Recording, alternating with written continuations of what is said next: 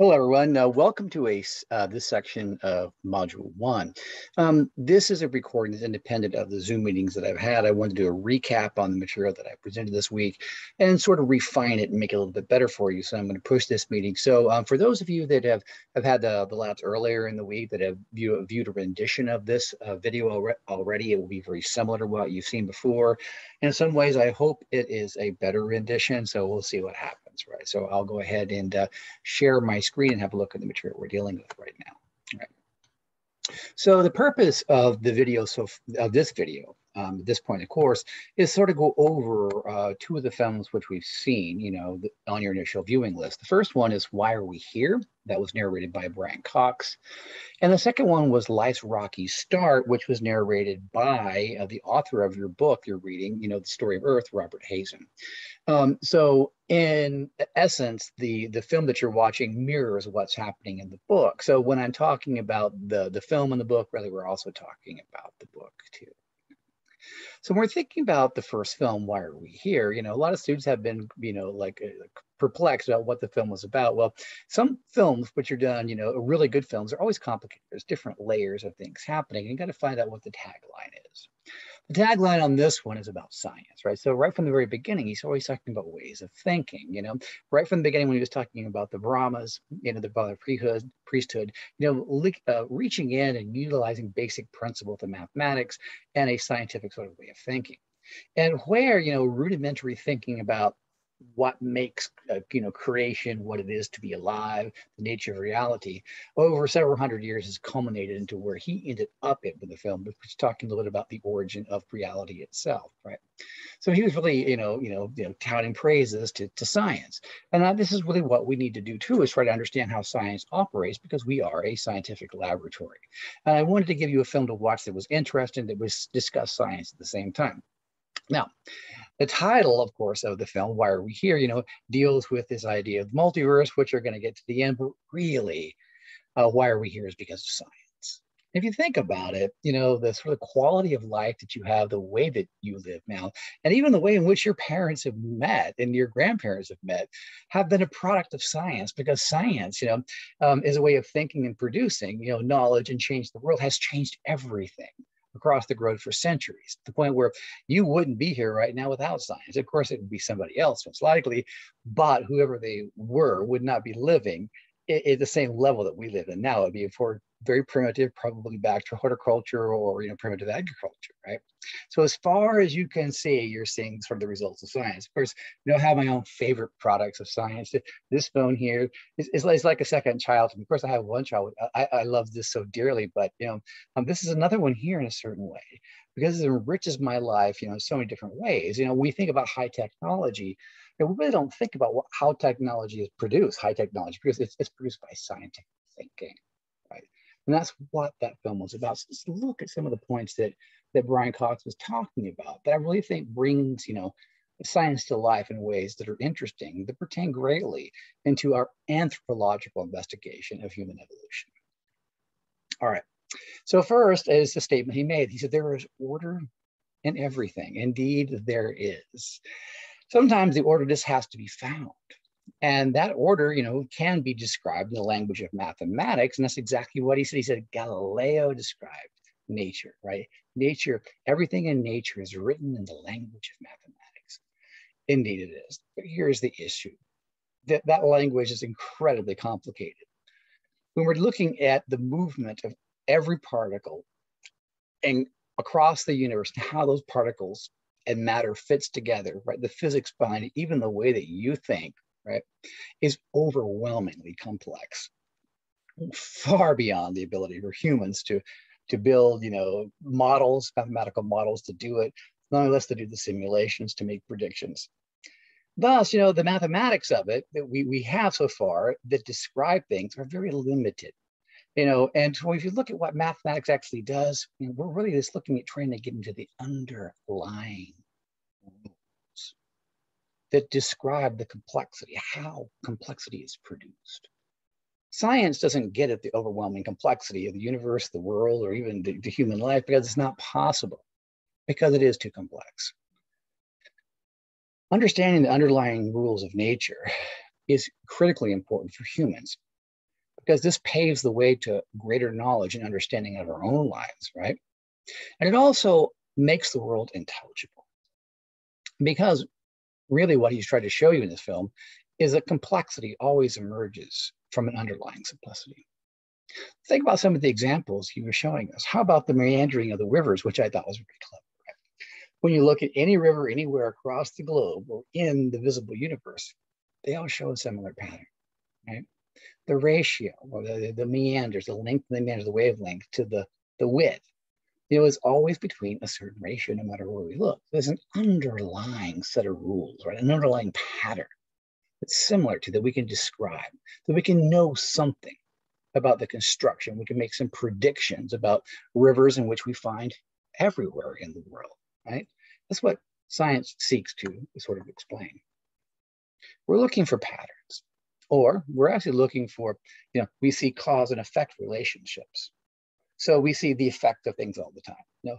So certainly if I take a pair of glasses like this and throw them across the room, the effect of me throwing it causes the glasses to move.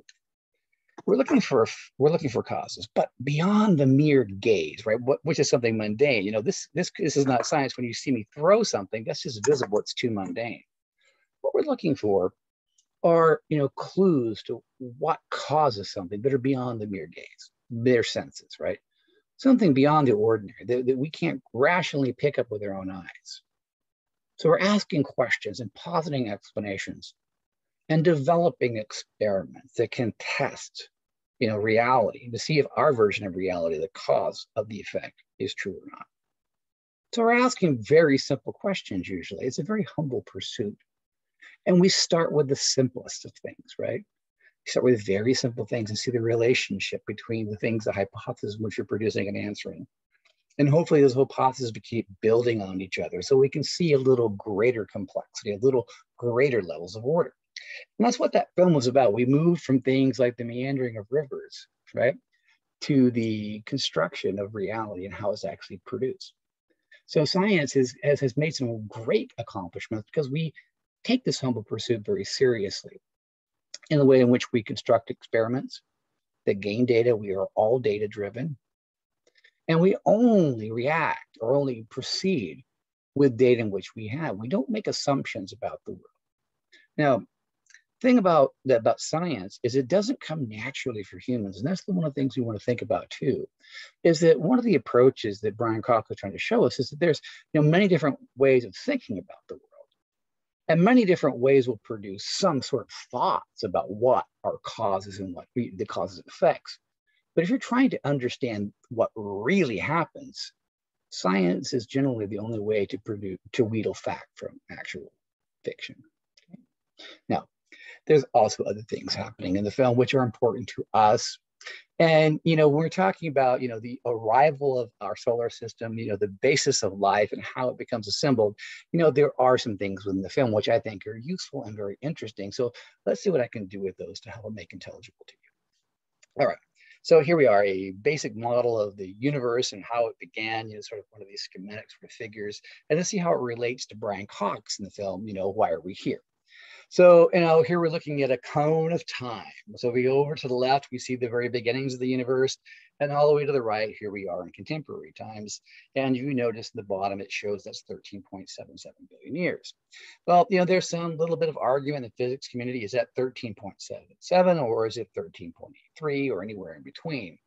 You know, what I in, in, all this sort of argument about those things and their models, let's just take an average and call it 13.8. I think that's really good, a little neutral point right now until things get hammered out very well. And it makes that, that number easier for us to deal with. So let's say that 13.8 billion years ago, this whole thing started. And one thing to notice is that at the very beginnings are not the same at the ends, right? You can see some things have changed in the universe, right? Well, what things have changed that, that, that pertain to life, to us? You know, what are the things that really make us here? The anthropology of this sort of stuff, right? So let's talk about what he was saying. What has experimental evidence found? All right, so we have the beginning, right? So most of you have heard, of course, from the TV show where you hear these names like the Big Bang, well, you know, what he's shown us is some evidence, you know, which he which which is called the cosmic uh, microwave background image. Now let's locate that image on this diagram. Okay, so all the way to the left, you see a little flat dish right there, and it's colored, and you see little, you know, purples, you see some greens, some yellows, little red dots in there. Well, what that really is, right? That's visible light. At 375,000 years ago, light becomes visible, right? If you're how and why. For that period of time, you know, the matter was very dense. The matter in the universe is very dense, a lot of gravity you know, so much gravity, it would never release the light. The light can never release. You know, the light would try to leave and it would turn around and come back. It's like you're turning on your light bulb and there's so much gravity in the light bulb that the, the light tries to get out of the light bulb, but it goes back in, the light bulb will be dark. Same thing as a black hole. The early universe was an entire black hole. It was there, there was stuff there, but the gravity was too strong. So we really don't have, you know, any light from it. Well, at about 375,000 years ago, the gravity weakens and light begins to escape and floods the universe. Well, at the time we are right now, over here on the right-hand side, we can actually see that light. It's coming into our detection. But that light has traveled literally 13.8 billion years in that period of time to reach our detectors. And it tells us that light is that old. let's have a look at that light Tell us what it tells about itself and the universe. So here you have that microwave background, that first light, right? And it's quite large. I mean, that's a pretty big universe. You don't realize that, that you couldn't even find the Earth in that with a pinhead. That would still be way too small. It would be even beyond electron microscope to find it so massive. Now, what that is, is actually a very uniform glow, which is exactly what Brian Cox said, which means the same temperature yes, you see the dark purples. Yes, you see the little brighter areas of red and yellow, but those aren't hot spots necessarily. We're talking about one ten millionth of a degree difference in temperature on that, right? That's the sensitivity of microwaves, about the sense the the, the meters that collect this stuff, right? It is almost exactly the same temperature everywhere we look at. So what this tells us is there was no bang. That the universe, the bubble in itself, whatever it was, was was produced, and then what was in it, the energy in it, was instantly transformed into matter, and it all had the same temperature and same glow in one spot. And then after it was established, time began, and then movement began, and then we have inflation. That's what he calls the inflationary theory of the universe. Like, okay, there's there's the sort of the mechanical modern. modern. So what does that mean for us? That's the big thing and reality. Well, Brian Cox was trying to tell us that this hasn't happened once. It's a continual thing. That the big energy itself, which is out of time, it's a, a different type of energy. It's constantly shifting and changing, reaches below certain trough points, you know, creating bubbles, which convert into matter. And then that matter does that, bam, converts to instant energy, right? And matter. And then it begins to expand. It's constantly doing this up and down, up and down. Universes are constantly being created. Well, what he doesn't tell you really is this because he doesn't have the time and maybe it wouldn't be intelligible. So I'll try. Has to do a lot with time. Here's the thing where is the past? Where is the future? You see, as you're living right now, you're moving forward. There is no past. It's gone. That's empty space now. It's only a memory. It doesn't exist except for in your head. Thing about the future is something. And as soon as you occupy it, whatever's in it can't be there. It has to move forward. And that's where the other universes are. They're ahead of us and behind us in time. As these bubbles begin their journeys, they erupt in time Another one comes right behind it, erupts in the space it was in as it moves forward. The other one flowing, another one comes in behind it, another one, another. All the way into the future forever and ever. And it will continue all the way forever and ever. There is no beginning and there is no end. That's the fascinating thing about it. And interesting thing too is with all these millions and infinite, oh, infinite numbers of universes, there is the possibility that the constants of nature are different in each of them. They may not be, they may be all the same, we don't know. What we do know is the constants of nature, the speed of light, you know, the gravity, and all the other things have made our universe a place which can be very hostile in some ways, but also a way, a universe in which you know life is possible too. The speed of gravity, the strength, the the uh, the, the, the, the, the strength of gravity and, and, the speed of light are perfect for the formation of things like oxygen. Right, the oxygen couldn't exist if it wasn't for the exact constants of nature. Most of the, the, the ingredients we have here for life couldn't exist unless know, the constants of nature were the way they were. Now, it also is a possibility that other universes in the multi-universe have different sort of constants. And many universes probably have the same constants because, as he was saying, we're dealing with most li the likelihood of infinite number. That means infinite. With infinite, you mean infinite choices, right? And it does give the possibility that there are infinite copies of you I hope, and also universes where things might have slightly different evolutionary histories to where, you know, uh, the individual characters, even your own lives, play play out slightly differently. You know, I always think that too. Maybe, maybe, maybe I'll look like Denzel Washington. That would be so awesome. Like guy's so handsome. He's my age too, right? So it's possibly I'd be better in other universes. Well, there's some science fiction built into that, obviously. And, and, of course, you know, there's scientific, scientific movies that are science fiction movies that play off this whole thing. But there is that reality too that, that these universes are very close together. And we can see that in black holes. We really understand what the information is, is that black holes are areas in where there's so much gravitational force that things shrink, that things are under so much gravitational containment that it slows matter down and it slows time down. And when that happens, it, the universes come together, they touch each other, and then wormholes, right? Little holes exist in which you, in which um, black holes actually connect um, universes together. Um, and um, you know, this is some of the stuff that's you know in science, science fiction literature, and all that sort of stuff that we don't want to go into in this class, but it's all fun to think about, right? But back to Brian Cox. Thus, if we're living in a multi-universe, life, you know, the the the odds of life happening are it's like winning a lottery ticket, right? With an infinite number of universes, this is like, you know, which lottery ticket is yours? Which universe is yours? Someone has got to win that ticket. And in some universe, there has to be life. Well, at least in our universe, there is, and we're here to actually prove it. Okay, so that's the big take home for, for, for that. Now let's get into, you know, what happens after the universe sort of unfolds and, and our earth is established and where does life begin and what does it take to begin? That's the really important issues. All right. Uh, one thing we got to look at is this. I know you guys are cringing. Oh my God, that's like chemistry. It's not chemistry. Chemistry is about how all that stuff puts together and how it works and all sorts of stuff. We're not going to do any of that stuff, right? What you're looking at um, is really just a, a different view of that. That, you know, is another like view of like the universe, right? Some sort of, you know, model of it. That's what that is too. It's called the periodic table of, of elements. That's everything in the universe. And if you put those things together in different combination, it makes everything out there and in here too, because there's nothing not in there in you, and there's nothing in you that's not in there. So you are a physical structure like everything else in the universe. I know it's kind of reductionist, right? But humans want to resist reductionism because we want to be bigger than we are sorry, you know, the exploration of human life and reality sometimes can be a humbling pursuit.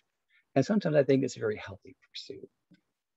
Now, when we look at this, we had to make some meaning about what's going on here. Okay, so you see 103 different things, possible things. It's the, all the things that's possible in the universe. That's it, that's everything, just in different combinations. Well, the reality is anything above number 95, right, Amer Amer Americium is really not going to happen. Normally up to like number 94, that's about it. The rest of them are around every once in a while. There's some freak conditions, you know, that normally they just spontaneously decay and they're gone, right? So 94 things makes everything else. Well, what do we see of ourselves in there? I think that's important. You know, it's not chemistry, but what do we see of ourselves? How can we identify with stuff, right? Well, I can identify first with number six. Number six is carbon.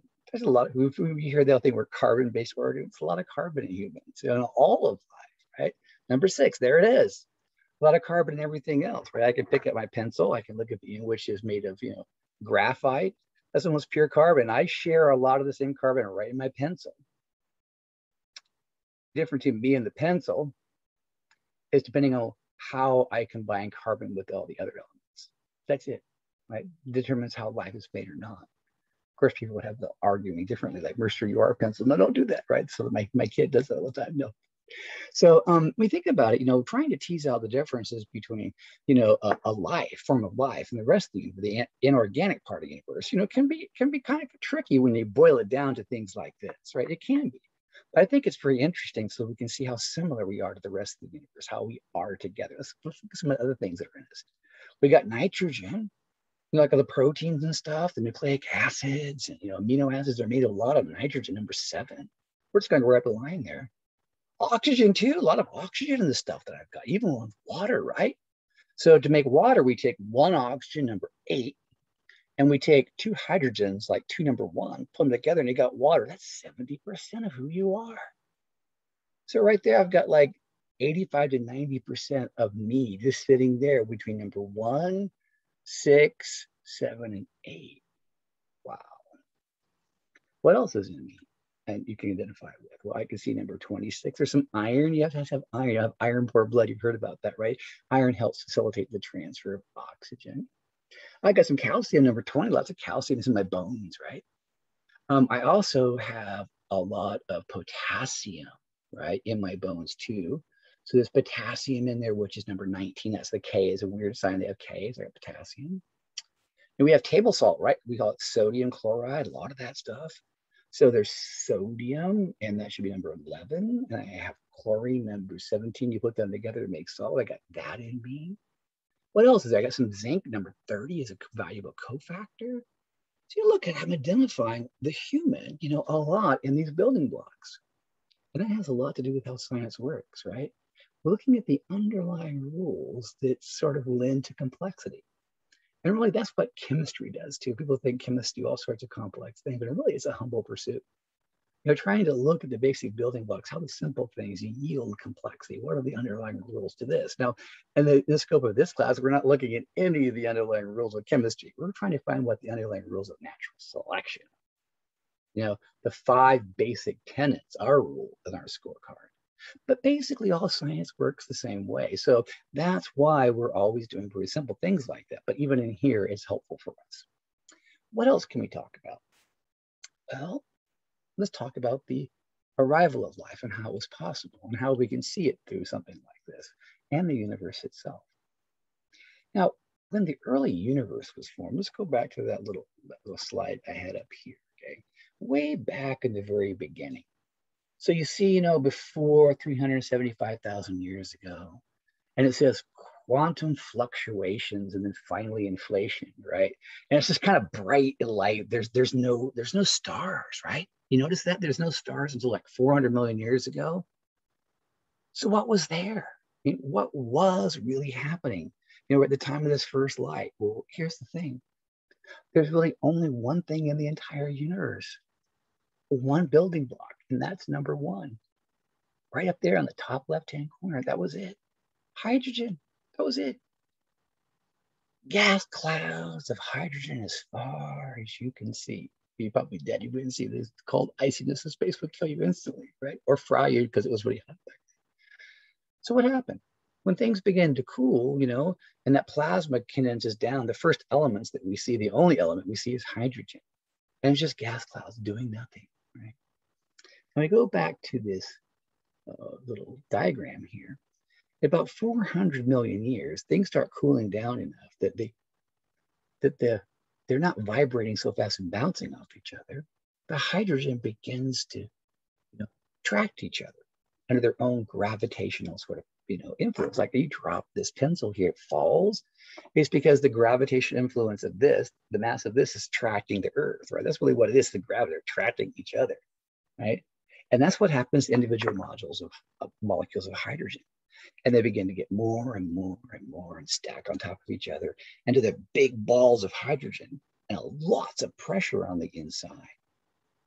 There's so much pressure on the inside that the hydrogen squeezes together. And you know, what's one plus one? Two. What's number two? Helium. See, that's how simple the chart is. All you got to do is put two hydrogens together and you have helium. That's what happens in stars. That's called fusion. Things fuse together. And of course, that liberates energy. It makes things hot when you do that, but it does make helium, right? So what happens when you take two plus one? What's the number comes together? So one plus two is three, right? So all you really need to do is add one more hydrogen to helium, and then you get number three lithium. Well, how do you get number four beryllium? Well, you just add one hydrogen to lithium because one plus three is four. Well, how do you get boron number five? Well, you just need to add one hydrogen to beryllium. Four plus one is five. See how interesting that is? To get all the other elements, all you have to do is keep adding a hydrogen to what was right before, and you make the other element. So what happens is when these gas clouds get together in stars, the temperature and pressure inside the stars is great enough that they're able to force hydrogen one by one, creating heavier and heavier elements. It's very interesting. It's very simple. It's so stupid simple, right? I wish, I wish my life made as, as much sense as the universe did. Okay. Well, here's the thing. What are the limitations of all this sort of stuff? Does it keep going all the way up till we have number 103? Depends. Now, our little star is a little star. I'm a little embarrassed with our star. I think when there's intelligent life someday and they get here, we're going to have that love because they're going to have a bigger star to flaunt than ours. Chances are. For those of you that know about astronomy, ours isn't very, we, we have a thing called a main sequence star, right? But, you know, our star has enough temperature and pressure in it to assemble, you know, add hydrogen to everything behind it to build up to number 26. And that's the one right in the center with a little red triangle I put around iron, iron. So our little star dies, it will in like 15 billion years, all gonna be left a little iron core. That's it, that's it, right? Well, here's the thing, if you look on Earth, we have, you know, regularly things all the way up to like number 94. So if our star can only produce up to number 26, where do the heavier elements come from? let's think. Let's go back to our, our little thing here, okay? So the first stars begin to form 400 million years ago, the first ones. Well, you know what? We've got another roughly 13 billion years to go to get to us. So let's see what happens to some of those first stars when they begin. Now, I mentioned that our star is very, very small. Let's see how small it actually is compared to other stars. Here we go. Okay, so here's our sun, our noble sun. I love our sun. Um, over here on the upper left hand. That's our little orange sun up there.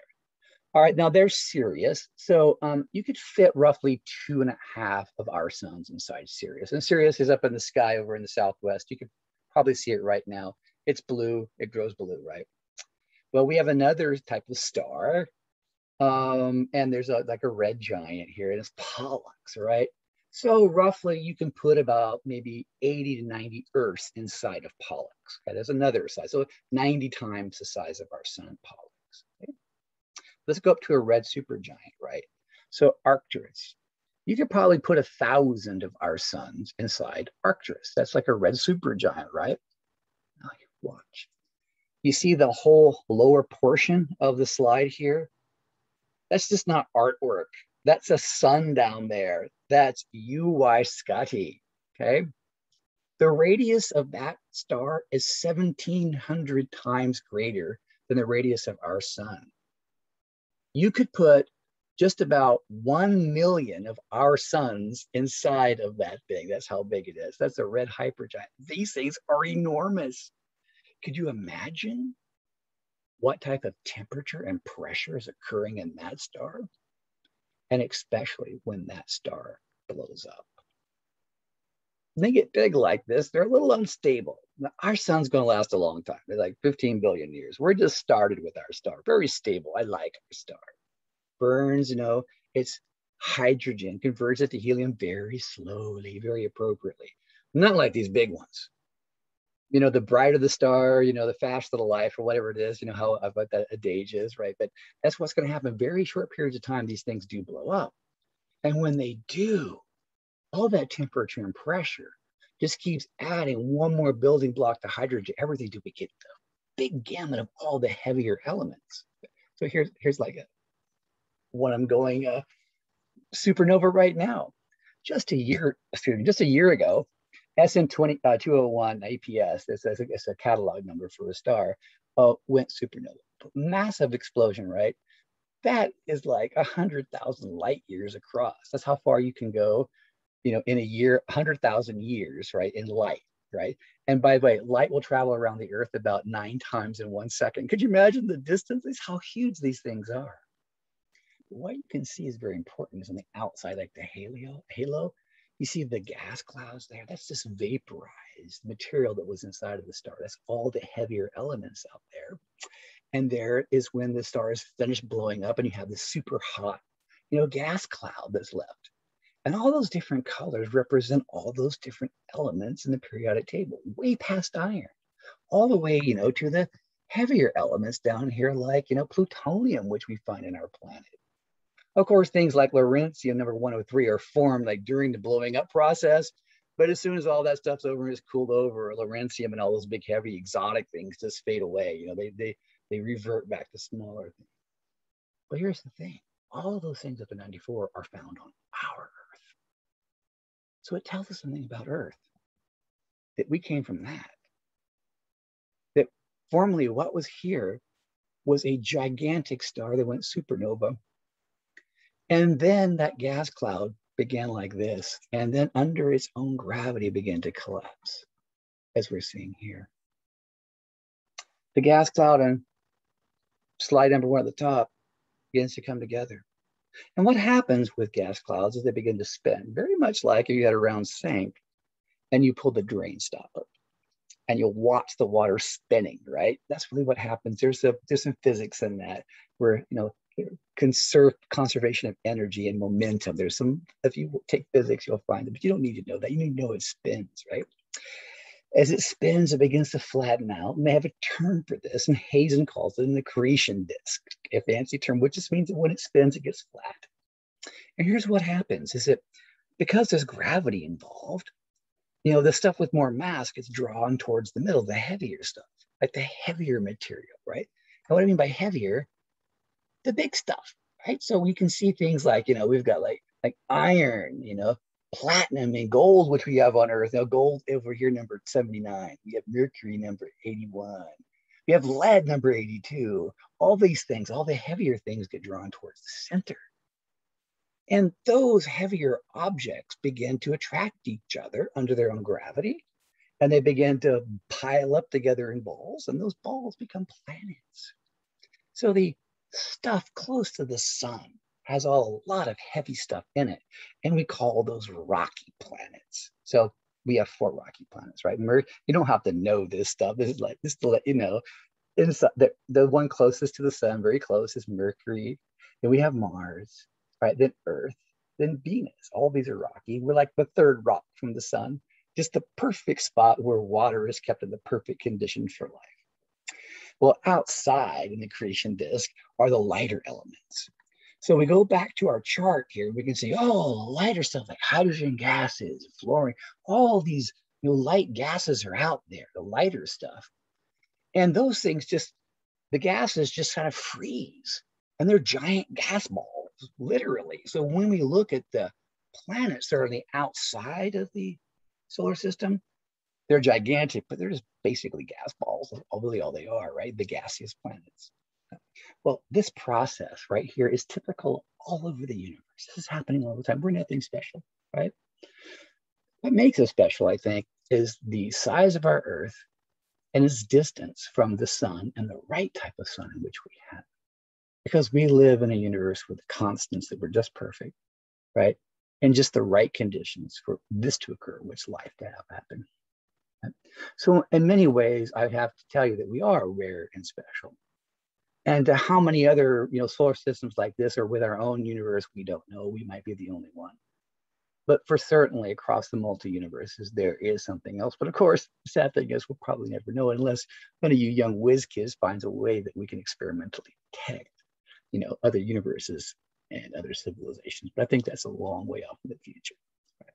Let's move on to see how you know life gets established on our planet and what those first forms were life and then how that trajectory sort of leading to us. Okay, um, so um, think about is you know life in itself. You know where does it begin? How does it begin? Well, you know, if the Earth is first forming, and if you read, you know, Hazen's book, what he does, or his films, he tries to break down the evolution of Earth and, and the changes in the color phases, which I think is, you know, really smart of him to do that. I think it's very simplified, but I think it's effective. Let's think about the very first phase in which Hazen is talking about, which is the black phase of Earth. And what he really means by this is not just when it begins, but he really talks about the, the mineral constituency. What were the rocks like? Well, everything was homogeneous. The rocks were the same, all mixed up. All the minerals, the, the, the, eh, the chemical agents here on Earth were mixed up in a homogeneous, you know, sort of cake mix, all the same thing, and had one look, and that was sort of a black look. The Earth was black. And this time, the, universe, the, the solar system is very young. We're being hit by all sorts of stuff, lots of loose rocks flowing around the universe. I mean, sorry, our, our solar system, a lot of meteor impacts, which kept it hot for a very long time. And in fact, just 50 million years after the initial formation of our planet, there was another planet, another smaller planet in our orbital path. And we attracted it and it glazed off Earth. And it took a piece of Earth off us and that formed the moon. So the, moon, the moon is actually resulting of an impact, which we'll look at in a little bit. And that that glazing of Theia knocked it off, off to the corner and the trajectory sent it out of the solar system, thank God. So it's not in our, or, it's not in our orbit anymore, which is really good for us, right? So, you know, we get to this, this phase in which you know, everything's homogeneous, you know, black earth, the moon's up there. And then what happens is, is the rocks begin to separate. They're very hot and they begin to separate on density. Now, for instance, so you have a you know a glass of water and you drop an ice cube in it. You notice that the ice cube doesn't drop to the bottom; it rises to the top because it's less dense. You know, because frozen ice expands a little bit, you know, and when it does, it makes it less dense and it floats to the top. Well, the same principle is happening on Earth. The heavier stuff begins to sink slowly to the bottom, and the lighter rocks begin to come to the top. The lighter rocks are lighter color, almost a gray color. And when that happens over time, the earth begins to have more of a gray look on less black and more gray. And we enter Hazen's gray phase of Earth. Well, what's very interesting about that, more than just the continents begin to get formed, is that when the rocks begin to separate, there are chemical reactions that obviously happen as rocks are separating. And part of the things that happen in the chemical reactions are the precipitation of water. Water is one of the byproducts of this. So surface water begins to form all over the earth. We do get some contributions that we think are coming in from comets. They are non-rocky things that hit us. These are just gas balls made with a lot of gases and water. And they're contributing to the, the water you know, uptake of Earth. And then we enter Earth's blue phase the gray phase is will still with us, and we still have continents. You can still see some gray out there, right? But we also are getting more blue because of water. Now, this is what we're interested in because this is where in which you know life is able to form. This is the conditions necessary. Right. Now, a lot of folks were thinking that maybe you know in Earth's early atmosphere, that potentially there was reactions that could have happened that could have produced life. No, it's not going to happen. There were reactions in the atmosphere that can produce the raw materials for life. And we'll look for that in just a moment. Before I go into that, let's think about why not the atmosphere. Simple. At that time, there was no ozone, no layer up there that helps obliterate the really harmful radiation from the sun, like high intensity UV that would just scorch you in five minutes, right? That type of high radiation would just basically, you know, I mean, sterilize the atmosphere, any, you know, attempt of life to begin with. It. So the atmosphere is not good can it actually be brought in by, by meteorites? Is it possible? No. The impact of meteorites is incredibly violent, like 1500 miles per second. Everything is completely vaporized down to its bare atomic. The little building blocks themselves are the only thing left, right? But a lot of those things are important ingredients that we get to add to the formation of organic molecules. So meteorites can bring in raw material for life, but not life itself. That, that's out of the question. What we're thinking are chemical reactions near or within what we call deep sea vents. We call these hydrothermal vents. Now, these are discussed a lot by by Hazen. in both Life's Rocky Start in his book, but I'll get more into the details here to explain those processes in case he didn't make sense for you. All right. So let's go to the first one, the atmosphere. So what do we know about the atmosphere? Well, Stanley Miller, Roger Urey, that's his graduate student Urey, they were doing some experiments back in the 1950s. And during this period of time, geologists had produced information about what the early atmosphere was like. And we knew it contained methane, which is like cow farts, right? Cow farts, CH4. And we knew it contained ammonia. If you open up like a bottle of ammonia you do a cleaning with, sniff it, that's ammonia, right? And we had some hydrogen. That's the stuff they filled, you know, early dirigibles with, like the Hindenburg, which blow up, right? So we have methane, ammonia, and hydrogen, and no oxygen. No oxygen. It's not the same atmosphere we have now. Very corrosive, very violent sort of cocktail, noxious. And we did have water in the ocean, so we have H2O. So they simulate this situation. They have a flask with the ocean water, H2O, that seawater with all its salts. Heat it up like it would be heated up by the sun and it evaporates. The water vapor rises. It mixes with the atmosphere with all that methane, all that ammonia and hydrogen gas. Then they apply something that's in the Earth's atmosphere now and in the past electricity. In the past, it was through electrical storms and lightning, and what they're going to simulate with an electrode and zap it with the same sort of force, high current. And they just watch what happens. Right? What begins to happen are the water in the collection. You know, when it begins to rain down the condensation, it turns pink. And they are really excited because they do an analysis of that and they find out all sorts of organic compounds and really what organic means is chemistry, but we don't worry too much about it. It just means when you take things like, you know, uh, methane, CH4, and you break it down and you just put carbon, hydrogen, carbon, hydrogen, carbon, hydrogen, carbon, hydrogen chains. You start putting carbon together in chains with hydrogens off of it, right? You start putting that stuff together. And that stuff is the backbone of many of the molecules in your body and particularly is what makes fats and lipids and all the things that make you soft and pliable. It's making the precursors of life, not life itself. Well, what else is happening in here? Well, we find that the nitrogen, the N groups, right, when we see on the ammonia, are coming together with hydrogen and water in a way, which are making amino acids. These are the building blocks of the proteins, you know, your hair and everything over your body, your skin, the collagens and all these things. It's making all the rudimentary proteins necessary to build life, all of them. The last missing ingredient will be the instructions for life, you know, how it should occur, you know, and maintain itself and grow and reproduce. It certainly wasn't made in the other upper atmosphere. You know, we got some of the basic materials. What we found out later um, by examining clays and muds. We never thought such a thing would be possible by looking at clays and muds, which are, seem like they're icky and just squishy, but they're highly complex surfaces where lots of chemistry happens, right? But some of that chemistry is elegant and can produce a master molecule, which is used to provide the instruction sets for life to reproduce and grow. And that molecule is RNA. Many organisms use just RNA for growth and development. Now, we use RNA, but we also use DNA, very close relative to it. But what you need first is RNA. So just some precursory sort of looks at these clays. Know, we've seen that right now we see strands of them growing. They're short strands, they're only 100 bases.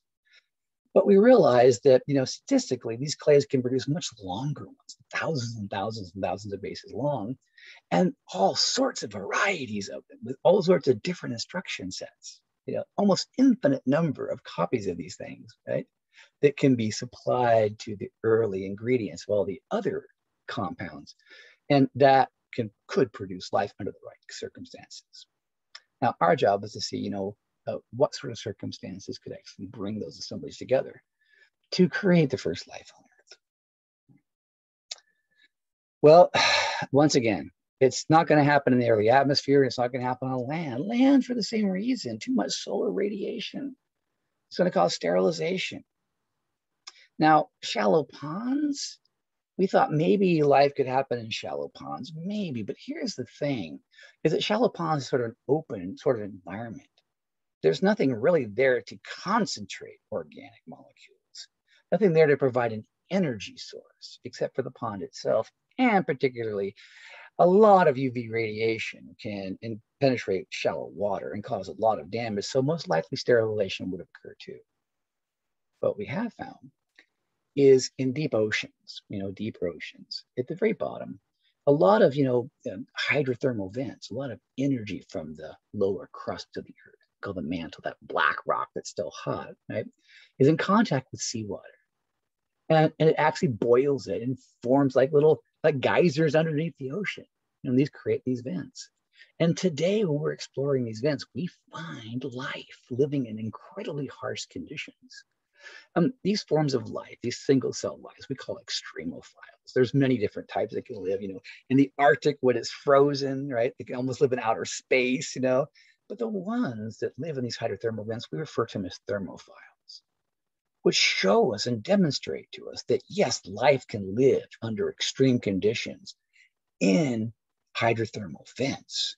So absolutely the first life could be forming within these structures but we need to investigate them a little further before, you know, so we can convince ourselves that this whole thing is actually possible.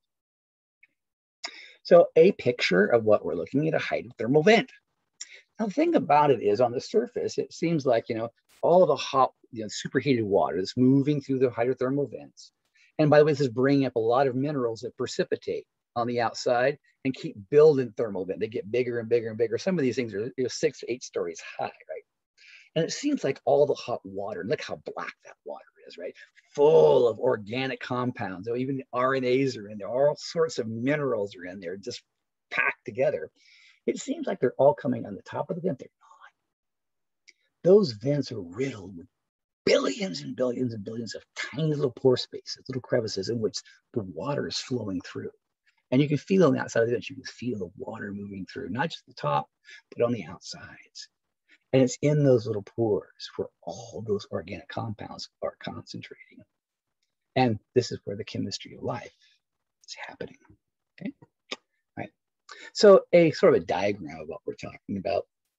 You know, we have the RNAs and the muds, you know, being produced around the vents. The stuff coming down from the atmosphere, nucleic acids and long chain fatty acids, the hydrocarbons, you know, these, these organic molecule chains coming down. And as they move down to the ocean, they get pulled into the sands, you know, they get pulled in as cold water, then forced into the vents and they superheat, they travel upwards. They move out of the vent up in the top of the vent and they recirculate back down again, right back to the soils. So it's just recirculating all of these organic molecules up and down, up and down. Now, the thing about it is, is today on Earth, we have a few square miles of these vents. Now, in the early Earth, we're talking about millions of square miles of these. This was most all the ocean floors were full of these. Think about the odds of life evolving or create, being created when you have millions of square miles of this. This going on 24 hours a day, packed with all the right ingredients. What we need is a precursor, some sort of cell structure to begin it. And we have found it. Let's have a look. So one of the things about hydrocarbon, these molecules, these CHs, when you put them together, what they produce are fats. And if you drop a drop of fat in water, you'll notice it makes a little round ball, little set, a little like little hollow ball. And it's really what they do. And especially if you mix them with a little bit of phosphates, they can make structures that are very similar to your cell membranes, right? That's why you're squishy. Well, most of you are, well, I'm, I'm more squishy than you because I'm older than you guys, but most of you are still squishy. That's what makes you alive. Your cells are flexible and pliable, 15 trillion of them, because all 15 trillion have this sort of fatty membrane on the outside. That's how life has to start. Then we fill it with the stuff that makes it active and alive. Well, what's interesting about it is that the stuff that was right there in the atmosphere the sphere, sphere being made automatically forms little these droplets, like little primitive little membranes. And when these droplets get bigger and bigger and bigger, you know what they do? They automatically split in half create daughter cells. And as those daughter cells get too big, they split in half. So, you know, they're reproducing themselves. Of course, is without life. This is completely something that has no life in it. But these things are beginning to occupy these hydrothermal vents. They're in the small spaces. a waiting to be charged with all the organic molecules, you know, and the life programming molecule, the RNA. It's just waiting for the right combination of RNA made by the clay so that those cells can actually become active. So everything's there and waiting for it. We just need one more thing. We need an energy source. You know, despite these hydrothermal cells pouring water through it, which we could, you know, with all our technology, you know, sort of harness the energy in some geothermal sort of way. That's not how life works. Well, think about how we're powered. You know, we don't think about it very often, but because we know we think about the mundane things, which are important, eating, you know, we eat food, but ultimately what happens to it? We take the complex, you know, molecules and we break them down. And what we're doing is we're releasing chemical energy and transforming into electrical energy. That's what's happening you and I both put out enough energy to light up about a 150 watt light bulb. Of course, Cardi B even more. I love her. She's so much energy to her. You know, she probably puts out 300 watts. I love that, right? But, but yeah, you know, a lot of electrical energy, a current actually is produced.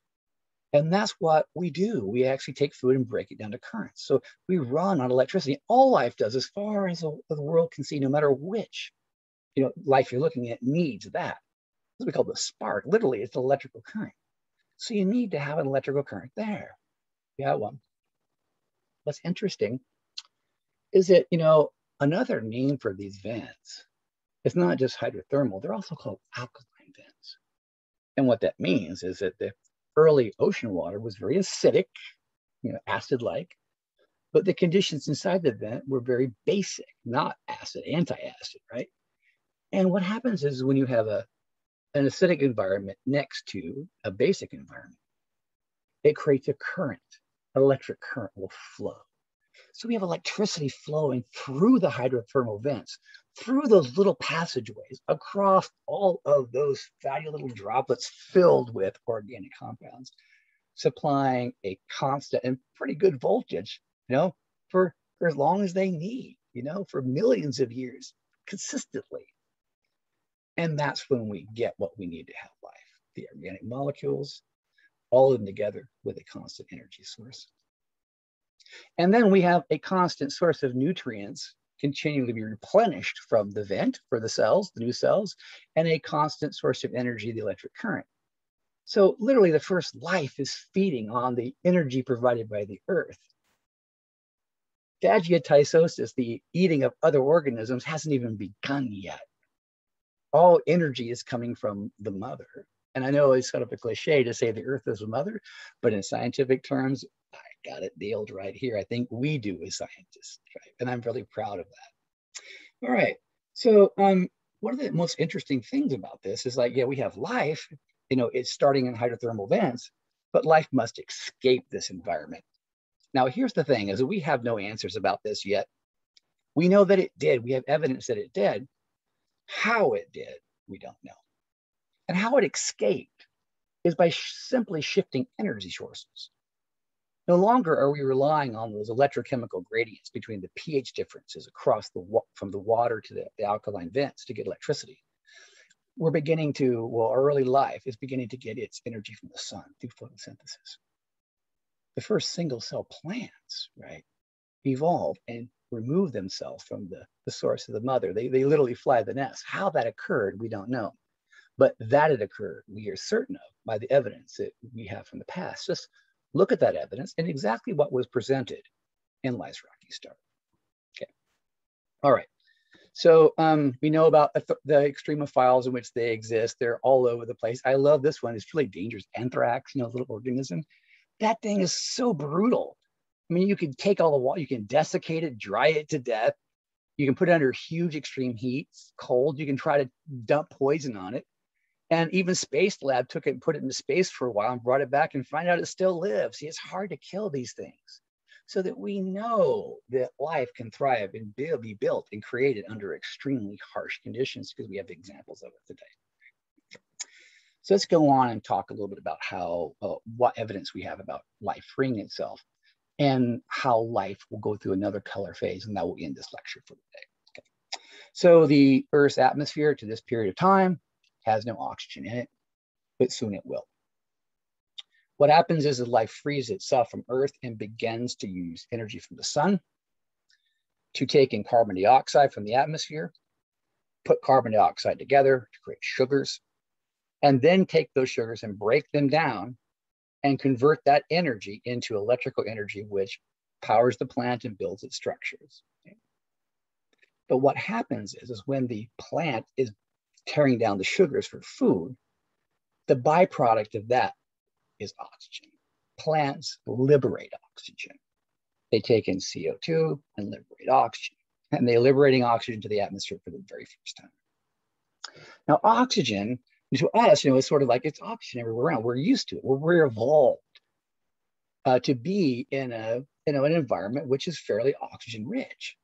You know, thing about it is the early Earth had never seen oxygen before, and oxygen is potent. Have you ever heard this term? It's an oxidizer. Well, oxygen is the thing that just tears molecules apart. It's it's a little devil. It changes everything. It recombines with minerals. It makes new minerals.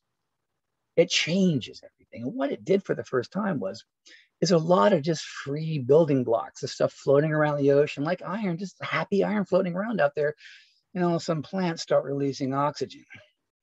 The oxygen attacks iron, combines with iron, and makes something called iron oxide, a completely different chemical. It begins to glump together and it sinks right to the bottom of the ocean. It precipitates out. And um, we've seen it.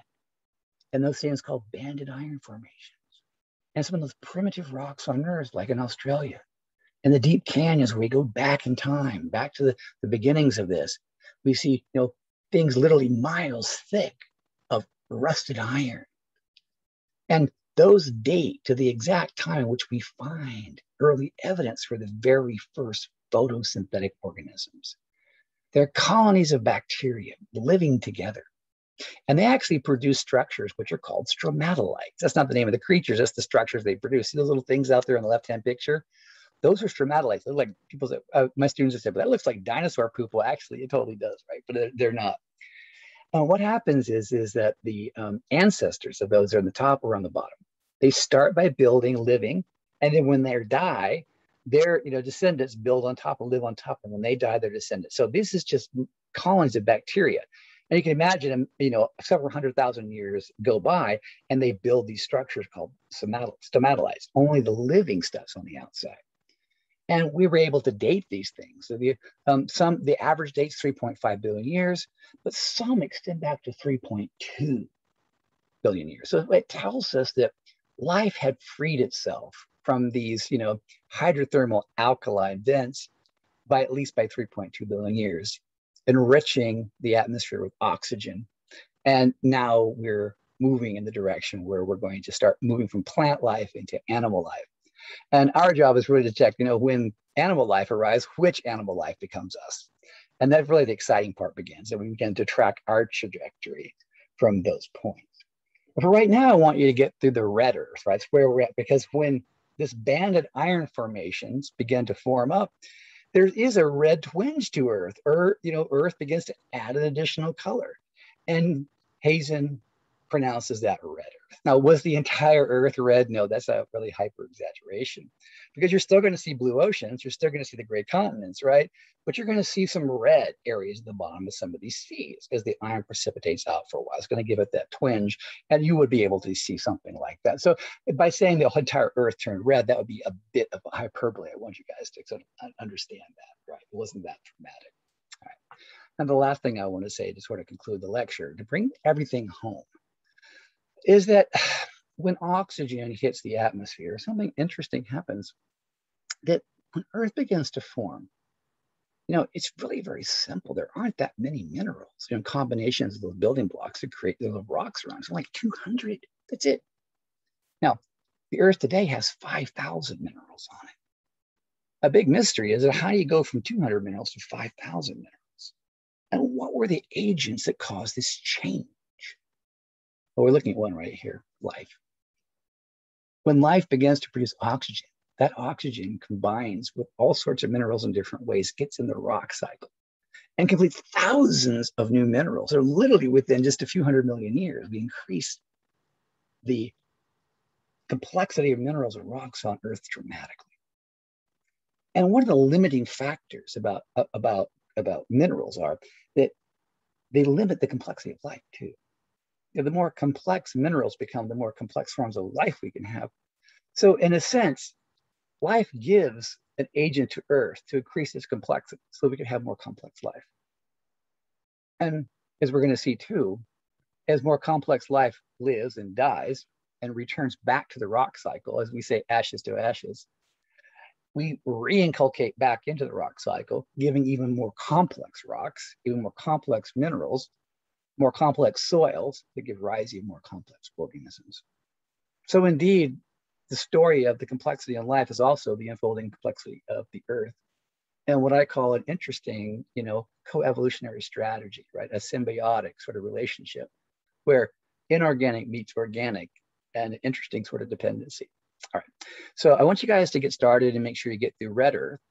And here in this module, really what we're trying to do, there's no work due in this module. However, what you should be doing is working on your Earth Timeline project. In other words, the material which I presented to you this far and which is available in Life's Rocky Start, Brian Cox's video, you know, as well as the book, The Story of Earth, up to Red Earth should be used to start producing your timeline. Take this time to produce that timeline up to this point. And therefore you will learn it well and get ready for the module quiz, which is coming at you, okay? Additionally, in the assignments right below this one, the introductory stuff, you're going to see examples of timelines, several average ones and some very good ones too. So you can use those to help boot you, you know, off into the right direction. And of course, there's me too. Always rely on me. If you want to show me what you've done so far, I'd be happy to give you pointers on what you're doing. You can tell me what your goals are. If you want an absolute A, I'll show you how to get to that direction, how to really enrich it for you to make a great learning experience and something you can be proud of. All right. So I'll see you guys next week. I hope this uh, this lecture has been at least somewhat helpful for you um, and um, revealing. All right. So I'm going to go ahead and uh, end this right now.